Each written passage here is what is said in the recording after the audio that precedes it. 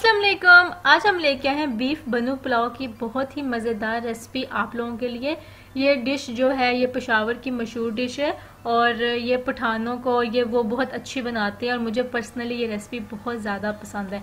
तो मैं इसलिए आप लोगों के लिए लेके आई हूँ रेसिपी मैंने कहा आप लोग भी इसको बनाएँ, ईद के दिन है तो आप लोग भी इसको लाजमी ट्राई कीजिएगा। रेसिपी स्टार्ट करने से पहले अगर आपने चैनल सब्सक्राइब नहीं किया तो जल्दी सब्सक्राइब कर लें। साथ में बेल का बटन भी दबा दें ताकि सारी नई आने वाली वीडियोस आपको सबसे पहले देखने को मिले। रेसिपी स्टार्ट करते हैं। बिस्मिल्लाहिर्रहमानिर्रहीम। सबसे पहले हम लोग ले लेंगे बीफ बीफ को हम लोग छोटी बोटियों में काट लेंगे, ठीक है? इस तरह से आप लोगों ने छोटे छोटे पीसेस में काटना है और साथ में हम लोग तीन चार हड्डियाँ ले लेंगे। हड्डियों से ये होगा जो यखनी होगी, वो बहुत अच्छी बनेगी। साथ में हम वन टेबल स्पून नमक लेंगे यखनी बनाने के लिए। यखनी में हम और कोई चीज़ नहीं डालेंगे, सिर्फ़ नमक ऐड करेंगे। उसके बाद आप लोग एक प्रेशर कुकर ले लेंगे और उसके अंदर बीफ डाल देंगे और साथ में आप लोग डाल देंगे नमक। और साथ में हम लोग पानी डालेंगे। आप लोगों को जितनी यखनी चाहिए होगी, आप लोग उतना पानी डालेंगे। मैंने चावल आधा किलो लिए हैं तो मैं तकरीबन इसके अंदर चार से पाँच गिलास पानी डालूँगी। साथ में नमक डालेंगे इसके अंदर। नमक के अलावा हम कोई और चीज़ नहीं डालेंगे, यखनी के लिए। चलें जी, अब हम इसको प्रेशर पे रख देंगे 25 से 30 मिनट के लिए। जो बोटियाँ हम लोगों की, वो मैंने छोटी काटी हैं तो इसको 25 मिनट के अंदर ये गल जाएगा। लेकिन अगर आपकी बोटियाँ थोड़ी बड़े साइज़ की हैं तो आप इसको आधा घंटा टाइम दे दें। चलें जी, अब हम लोग चलते हैं चावल बनाने की तरफ़। सबसे पहले हम एक पतीला लेंगे, उसमें ऑयल डालेंगे। तकरीबन हम लोग आधा कप ऑयल डालेंगे। उसके बाद हम लोग प्याज लेंगे, एक प्याज लेंगे मीडियम साइज़ का, उसको स्लाइस करके काट के ऑयल के अंदर डाल देंगे। जो बनु पुलाव होता है, वो थोड़ा ब्राउन कलर के चावल होते हैं तो इसलिए हम लोग जो प्याज है, उनको सही तरह ब्राउन करेंगे। जलाने नहीं है, लेकिन हम उनको डार्क ब्राउन करेंगे। जैसे प्याज ब्राउन होना स्टार्ट हो जाएँगे, हम इसके अंदर डाल देंगे लहसुन पेस्ट और साथ में हम डाल देंगे अदरक की पेस्ट ठीक है? वन टेबल स्पून दोनों डाल देंगे। और इसको हम अच्छी तरह मिक्स कर लेते हैं ताकि जो स्मेल है, अदरक लहसन की वो ख़त्म हो जाए। ऑयल के अंदर उसको फ्राई करेंगे। उसके बाद हम इसके अंदर डालेंगे टमाटर। टमाटर मैंने लिया है एक मीडियम साइज़ का और उसको हम लोगों ने इस तरह बारीक काट लेना है। एक टमाटर इनफ होगा।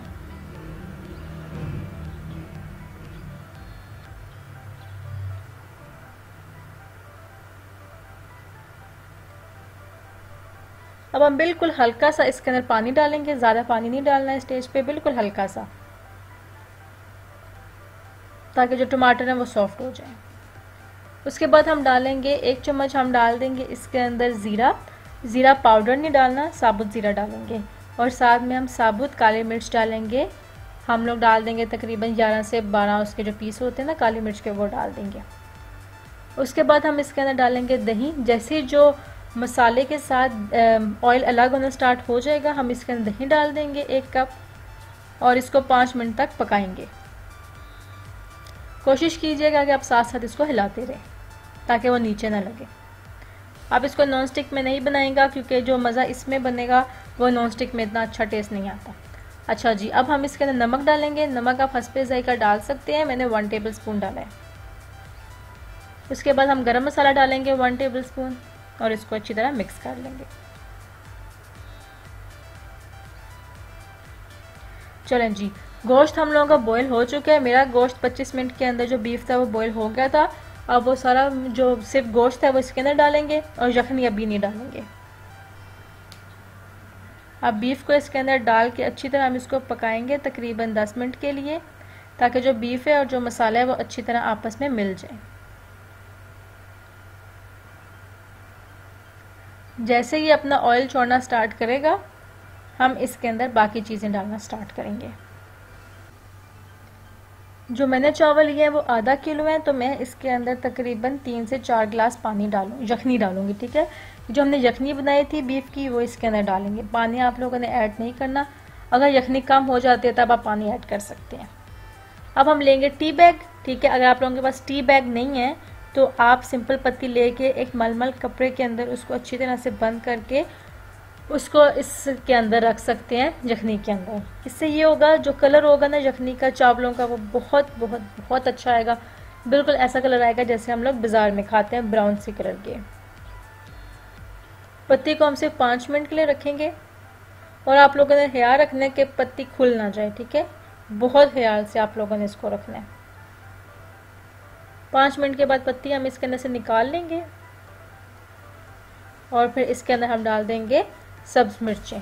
साबुत डालेंगे, इसको हम लोग काटेंगे नहीं। पाँच डालेंगे सब्ज मिर्चें।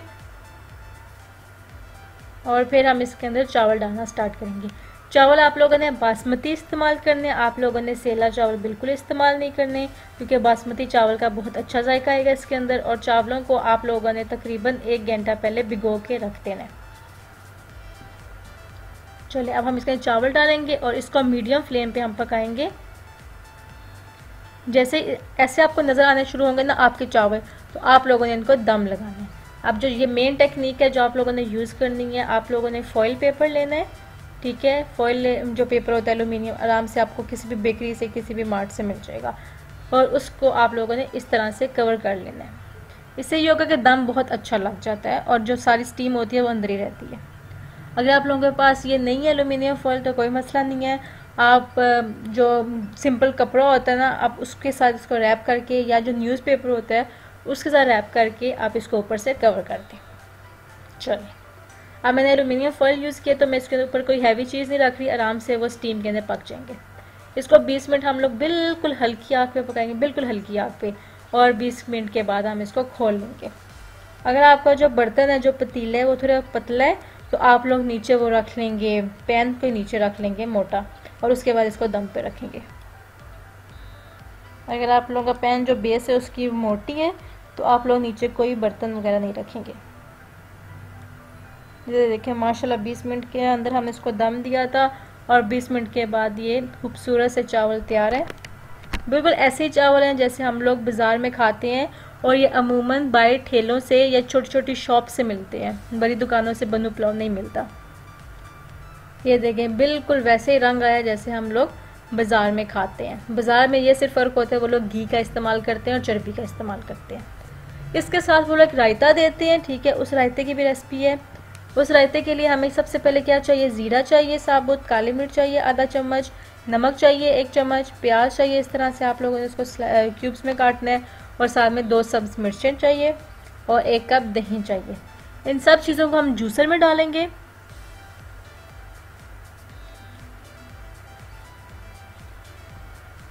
और इसको सिर्फ़ हमने पाँच से दस सेकंड के लिए मशीन ऑन करनी है, ठीक है? ज़्यादा हम इसको मिक्सचर, इसको, उसका जूस नहीं बनाएँगे, इसको ज़्यादा ग्राइंड नहीं करेंगे। सिर्फ़ पाँच सेकंड या दस सेकंड, इनफ।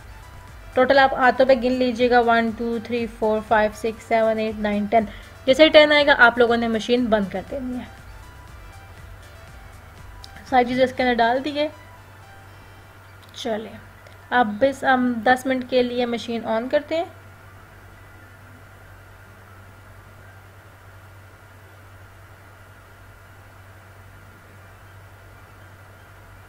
चलें दस सेकंड आप लोगों के हो चुके हैं, गिन चुके हैं आप लोग। तो अब हम इस रायते को निकाल लेते हैं।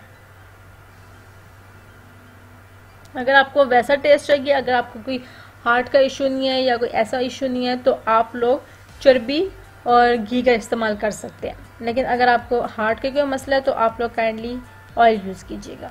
उम्मीद है आप लोगों को रेसिपी अच्छी लगी होगी। अगर अच्छी लगी है तो कमेंट सेक्शन में हमें लाजमी बताइएगा कि नेक्स्ट रेसिपी हम लोग कौन सी लेके आएँ और ये आप लोगों ने लाजमी ट्राई करनी है और अपने दोस्तों को और अपनी फैमिली को इसको खिलाइएगा वैसे भी ईद के दिन है तो इसमें खा के मज़े कीजिएगा।